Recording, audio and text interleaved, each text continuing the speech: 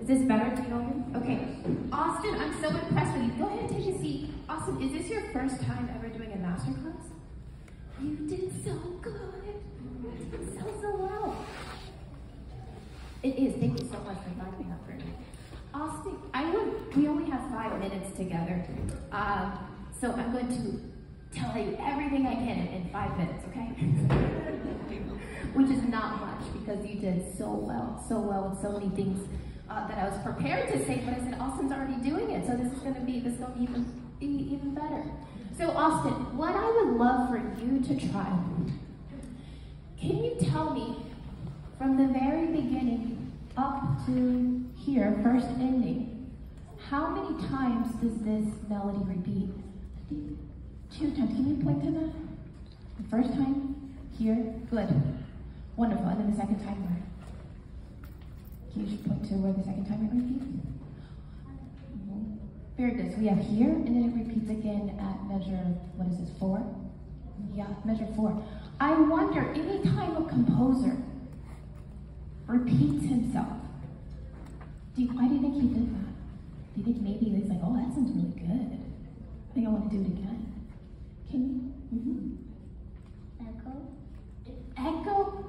I don't even have to say anything. Did your teacher already tell you that? Did your teacher already tell you that? Yeah. You guessed it? Okay. Can we try that? You already knew it. You already knew it. Austin, can we try it one more time? I love your touch. In order to have an echo, maybe for the first time, think, you said loud.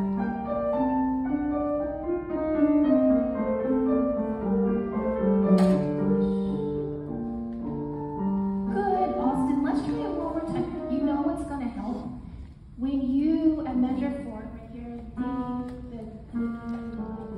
take a little bit of time to really end that phrase, and then it's going to help you to prepare for that echo, G. Good sound. A little less, and Austin, well, no, but it was good because you prepared it.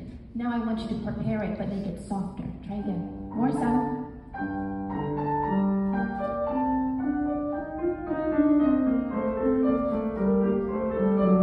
now prepare. Oh, Austin, that was it. Did you like it? Yeah, you're smiling. He's smiling, so he liked it. Yeah, everyone's clapping for you. You don't have to hide. It was beautiful. You don't hide your smile. It was gorgeous. So you know what? What I would invite you to do.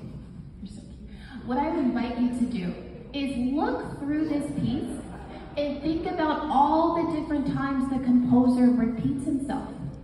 And you should ask yourself, what can I do different musically? It doesn't always have to be an echo. I like the, your idea of putting an echo there. Sometimes it can even be louder, okay? Can you show me another example where the composer said, oh, I like that idea, I'm gonna do it again?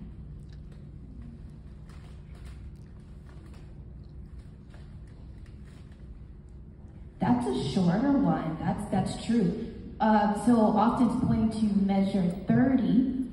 Um, can we try that one? So this is interesting. I like that you pointed out measure 30 because now we have to do something within one measure.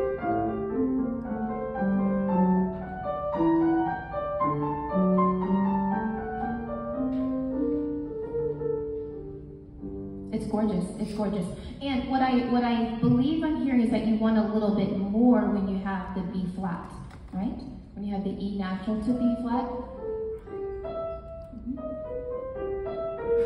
I like that. I like that. Can we actually start from here, from right there, and I want you to go to the end. And one one thing, we have all these different accidental notes, right? I like that you're making this beautiful crescendo, but when you started here, I would love if you can get even softer so you have longer to build.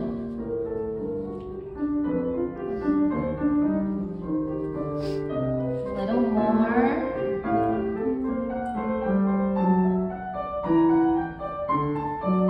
And less. Austin, you are incredibly musical. You really are. I'm very, very proud of you. Really, really great job to you and your teacher. Did you enjoy your first master class? I'm really proud of you. Good job.